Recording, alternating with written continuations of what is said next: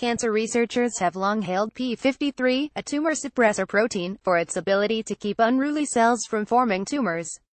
But for such a highly studied protein, P53 has hidden its tactics well.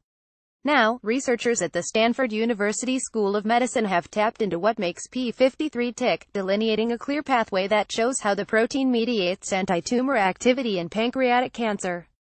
The team's research also revealed something unexpected. A particular mutation in the P53 gene amplified the protein's tumor-fighting capabilities, creating a super tumor suppressor.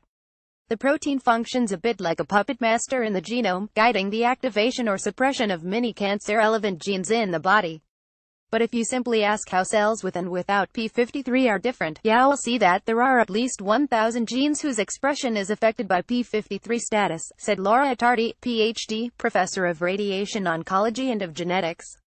So, getting to the bottom of which of those many genes are critical to tumor suppression is not a trivial question. A paper describing the work will be published online October 9 in Cancer Cell. Attardi is the senior author.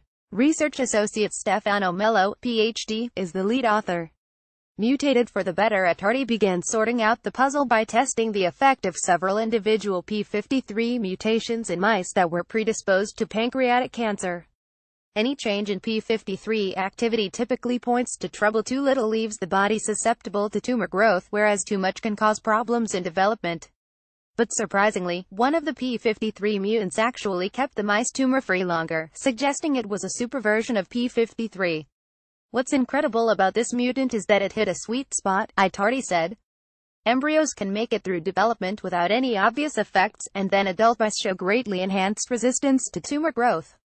Mice that harbored the favorable mutation, which occurred in a transcriptional activation domain called TAD2, displayed longer, pancreatic cancer-free survival than mice with normal copies of the P53 gene. Attardi's study showed that, at 400 days old, nearly 40% of the mice with normal P53 function had succumbed to pancreatic cancer, whereas none of the mice with the mutant form showed signs of tumor formation.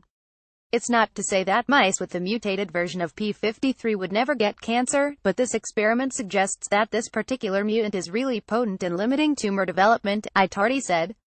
It turned out that the mutant hyperactivates P53, causing a subset of its downstream targets to get a surge of activity, too. But with more than 100 target genes sent into overdrive, it was critical for Attardi's team to narrow down which genes directly affected tumor suppression. Genomic data and past studies in human cancers pointed the team to the gene PTPN14. More importantly, PTPN14 is a known regulator of YAP, a protein that, when unchecked, turns on cancer-promoting genes in the body. The axis of tumor supersuppression Attardi's findings allowed her to define a pathway, or axis, consisting of three proteins that contribute to P53-mediated tumor suppression, and it works in a linear fashion. In the chain of command, P53 ranks highest and activates PTPN14. PTPN14 then suppresses YAP to keep cells from turning cancerous. In collaboration with co-author Christina Curtis, Ph.D., Assistant Professor of Medicine and of Genetics, and postdoctoral scholar Jose Seoane, Ph.D., Attardi used human cancer genomic data to extend the paradigm further, showing that when P53 is mutated in human cancer, YAP activity increases, allowing tumors to develop. Attardi said the axis actually suggests that P53 and PTPN14 deficiency can promote the same consequence of YAP activation. I think this P53 PTPN14 YAP axis is a central mechanism, Attardi said. P53 affects a lot of tumor suppression processes, so if it influences a central protein like YAP, which also controls a lot of cancer processes, it can have widespread effects on cell behavior. Attardi added that she would be hesitant to say that this is the one and only mechanism. It would be too simplistic to think that this is absolutely the only pathway that's involved in P53-mediated suppression of pancreatic cancer, so I suspect that there will be other contributions as well. The team's findings could inform a new type of therapeutic, mimicking the P53 supermutant to upregulate tumor suppression. It could also inform those who are developing therapeutic YAP inhibitors, Clearly, YAP is a very potent oncogene, Attardi said. And our study suggests that perhaps the focus should be on developing YAP inhibitors for tumors where P53 is gone. Maybe it's more critical in those cancers. Now, Attardi and her team are continuing to investigate whether their newly uncovered P53 mechanism holds true for a wide range of cancers, not just pancreatic. We want to know if this is a tissue-specific pathway and if this really is relevant for different tumor types, Attardi said. So we're turning to experimental models to test that.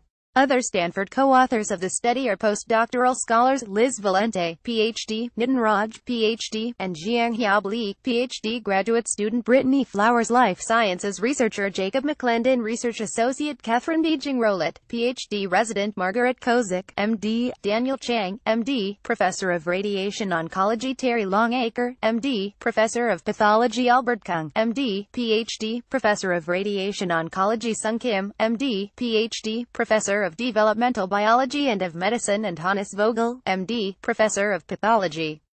Researchers at the University of Toronto and Johns Hopkins University also contributed to the work. The research was supported by the Canadian Natural Sciences and Engineering Research Council and by the National Institutes of Health grants R21CA169673, R01CA140875 and R35CA197591. Stanford's departments of radiation oncology and of genetics also supported the work. The Stanford University School of Medicine consistently ranks among the nation's top medical schools, integrating research, medical education, patient care and community service. For more news about the school, please visit http://ed.stanford.edischool.html. The medical school is part of Stanford Medicine, which includes Stanford Healthcare and Stanford Children's Health. For information about all three, please visit http://ed.stanford.edu. Print media contact Krista Conger 65072075351 Krista at stanford.edu.